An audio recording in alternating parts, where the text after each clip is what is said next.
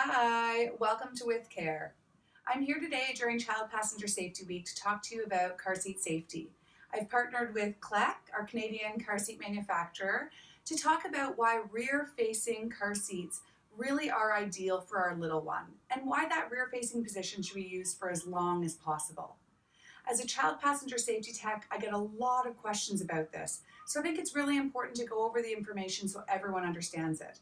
I typically find that once parents understand the information and the research behind these recommendations, they're much more keen to keep their child in a rear facing position for as long as possible. So, why is a rear facing position so important? Well, the first thing we need to remember is that these little people are not simply small adults.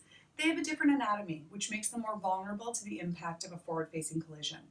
We know from our injury data that our forward facing and side impact collisions are the ones that create the majority of our major injuries as well as our deaths. And so those are the ones that we really need to be looking at. When our babies are born and through their early period in child, childhood, their vertebrae have cartilage between them, not fully ossified bone like adults.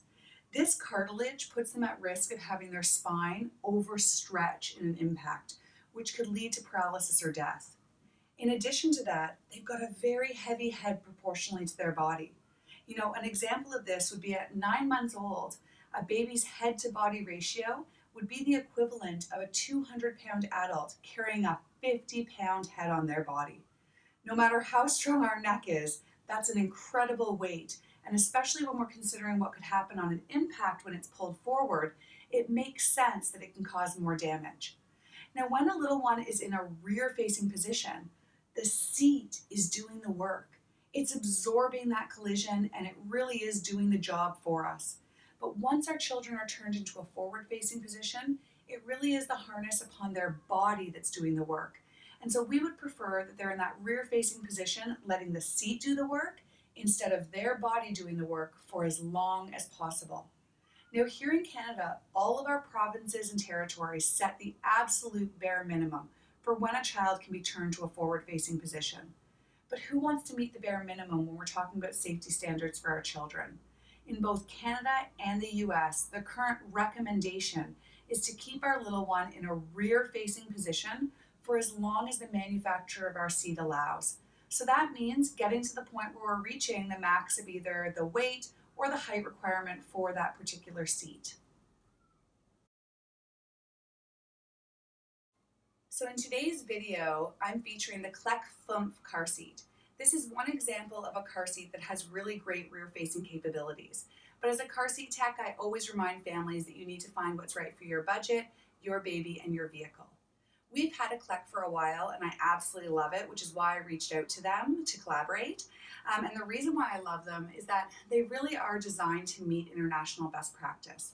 What that means is that they're able to keep our children in that rear facing position and then in a five point forward facing position for a very long period of time. So when we're talking about rear facing, 97% of our children on their fourth birthday will still be under the 44 inch maximum of this seat in the rear facing position. Also, the vast majority of them will still be under the 40 pound weight restriction for the rear facing position of the seat. That means that again, most of our children can be in a rear facing position in a seat until they're well into their preschool years.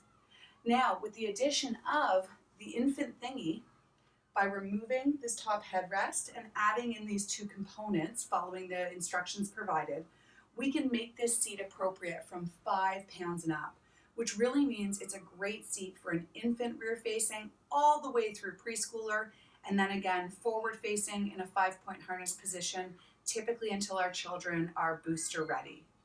The other reason why I love these seats is that they've got some key features that make them a little bit easier for install and use. One of those features is this rebound bar.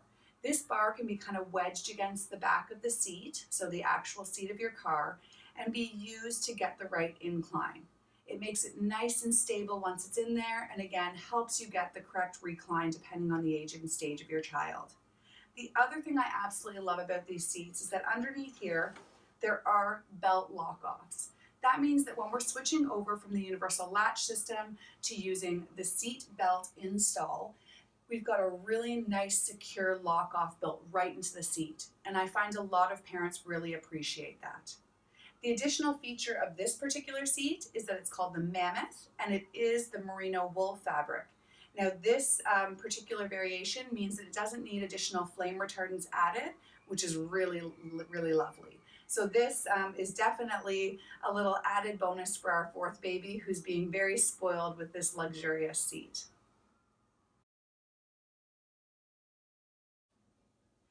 The myths I commonly hear perpetuated about rear facing positioning is that once our kids' legs reach a certain length, we must turn them forward facing, or else we're putting them at their legs at risk of an injury upon a collision. That's actually not the case. Our injury data suggests that our forward facing children are the ones who have most leg injuries on collisions. And so, as long as our child is still within the weight and height requirements for their rear facing positioning, we can have their legs down the side of the seat up the back of the seat or froggied in without any concern.